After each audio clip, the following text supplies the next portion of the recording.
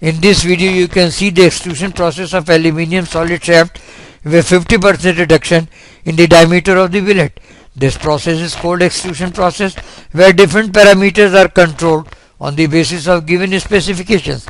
Extrusion forces with respect to the billet height are shown over the graph. These forces are maximum when there is sudden change in the area of the cross section of the billet. As the billet height reduces, the force required to extrusion of solid is increases.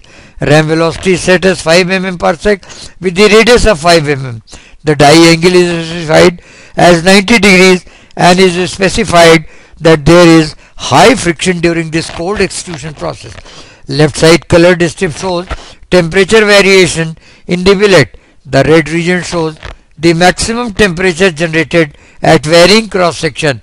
One fourth of the solid shaft is shown over the screen because this solid shaft is axis symmetric with x and y direction.